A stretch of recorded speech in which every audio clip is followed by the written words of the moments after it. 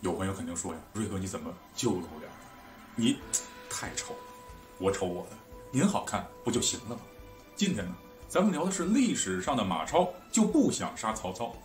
有朋友说你这上来就胡扯呀，马超对曹操那是口吐芬芳，妙语连珠，都素质四连了啊！曹贼、奸贼、恶贼、逆贼，他能不想杀曹操？那是电视剧。那马超就大骂道：“曹贼！”欺君罔上，罪不容诛，害我父弟，不共戴天之仇，吾当活捉，生啖乳肉。那是小说啊！哎，说的太啰嗦了，咱赶紧呢讲历史吧。咱就别说《三国演义》了，易中天老师都说了，《三国演义》那是历史上曹操说过：“马而不死，故无葬地。”意思就是承认呢，马超是非常有军事眼光的。如果韩遂用了马超的计划，那曹操就很难打赢了。我们来看看啊，马超的计划是什么？如果我们守在渭河北岸，不出二十天，敌人就会粮尽退兵。有朋友说那时候杜基啊正治理河东，粮食充足啊，曹操不会粮尽退兵。但其实曹操顾虑的并不是粮草的问题，曹操是内部政局不稳，四处都有人叛乱，曹操就不能出征太久啊。不管怎么说呢，马超的目的就是让曹操退兵，并不是想要杀死曹操。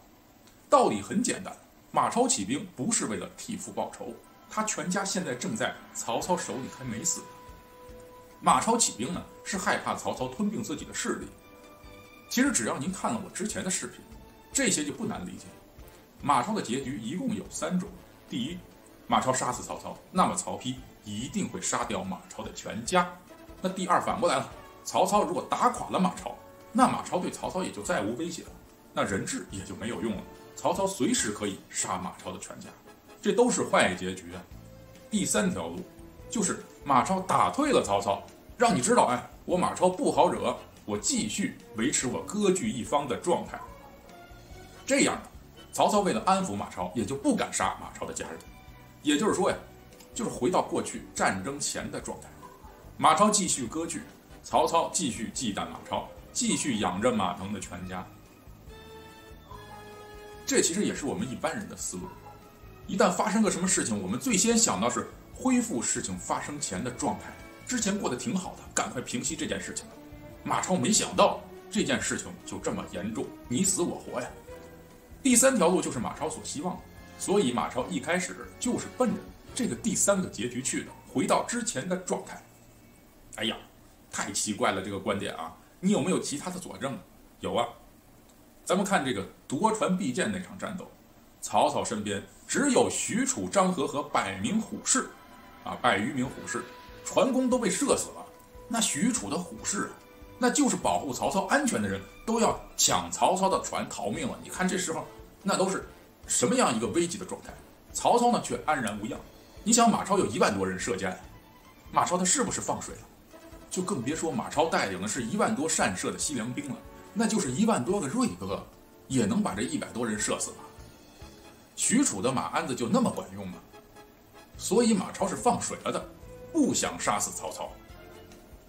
还有啊，马超总是想着和谈，为什么呢？就是想回到过去他割据的状态。还有马超总想趁着和谈的时候要生擒曹操啊，用六虎米的袋子当做曹操来练习。你想这难度多大呀？你藏个暗器把曹操杀掉，不是简单一点？你费那劲干嘛呀？你想想他费这劲干嘛？换他父亲和全家二百余口的性命。所以呢，马超的目的就是让曹操退兵，自己继续割据。马超想活捉曹操，也就是想让自己的和谈多一点砝码。马超其实不敢杀死曹操，因为曹操手上有他父亲和全家人的命。你再想想曹操的态度。马超的骑兵来了一万多人，他还安稳地坐在胡床上，还敢亲自去隔着障碍物和谈，太浪了啊！有恃无恐啊！他就知道马超就不敢对自己放冷箭，近身那就更不怕了。咱有许褚呢，许褚专业的近身搏斗专家，还打不过你马超。如果你想要没有这个人质的话，朋友们，马超完全可以毫无顾忌地杀死曹操啊！那曹操也不敢这么浪了，是吧？然后一边看着中原大乱，一边继续割据。那反观韩遂，他放弃了马超提出的逼迫曹操撤军的计划，就是为了让马超再次半渡而击。这就是斩首行动啊，摆明了就是想把曹操弄死，扰乱天下，自己获取更多的利益。韩遂的子孙那也有在曹操手上当人质的，但人家儿孙多不在乎，真乃汉末之愚公啊，子子孙孙无穷匮也。韩遂的儿孙，哎，是他自己送去当人质的；马超这边的人质是他父亲马腾自己非要去的。你这么一对比，你想想，韩遂那才是那个最狠、最冷血的人呢。历史上记载，马超思念自己死去的亲人，是捶胸吐血，过年都高兴不起来。他是有亲情观念的，只是很可惜，他的第三条路破灭了。他走上了第二条路，就是他被曹操打败了。曹操觉得他再无威胁的时候，也就不需要谈判了。那还留着马腾全家干什么呢？于是就把他全家二百余口全部杀掉。有朋友说不对啊，这有一个漏洞。你看，马超是不是卷土重来了？他为什么啊又卷土重来？卷土重来的时候围攻冀城，在这期间曹操才杀了他全家二百余口。为什么马超还要接着干呢？他就是想让曹操证明自己尚有余勇啊！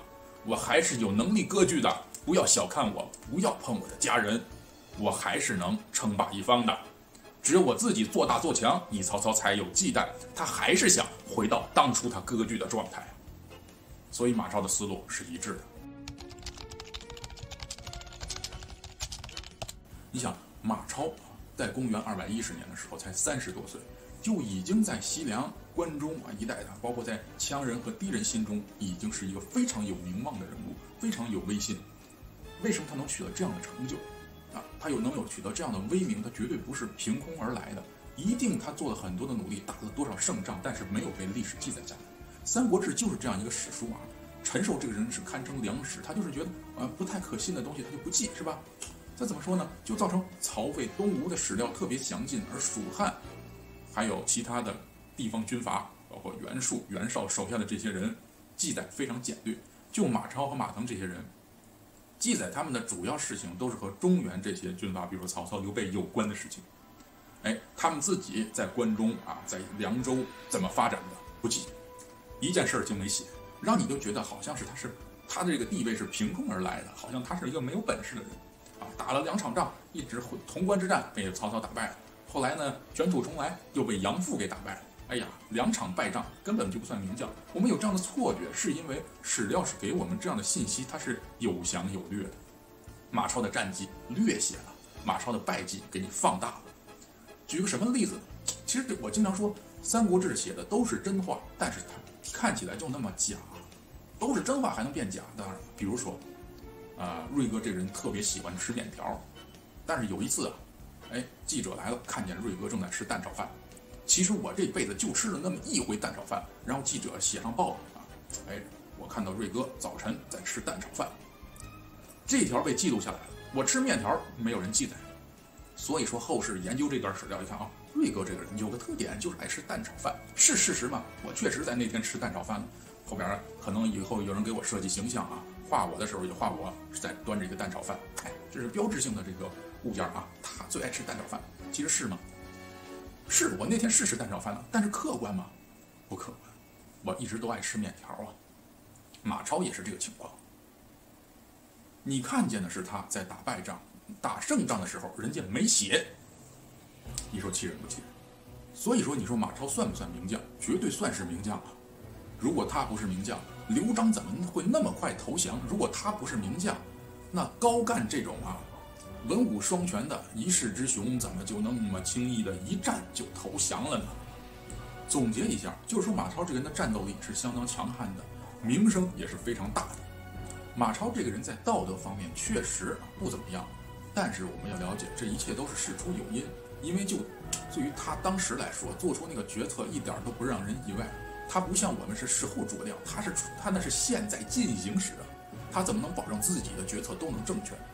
他选择起兵，并不是说放弃了家人，而是想逼退曹操，回到原来割据的状态，让曹操像以前一样善待他的家人。